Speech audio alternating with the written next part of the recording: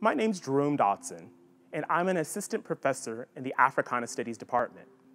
My research looks at food, race, and the body, and I try to understand the ways that these three categories are interconnected.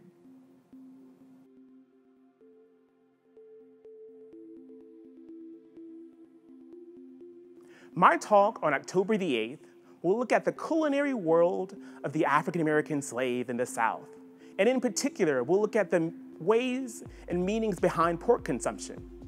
Through pork eating, we can understand better the categories of race and gender in the 1800s. But we won't just stick with slavery. We'll also talk about the 20th century. And in particular, we'll look at the ways that African Americans have tried in the 20th century to reform their eating habits and challenge the legacy of pork consumption and slavery. So please come out and hear my talk on October the 8th. I look forward to seeing you there.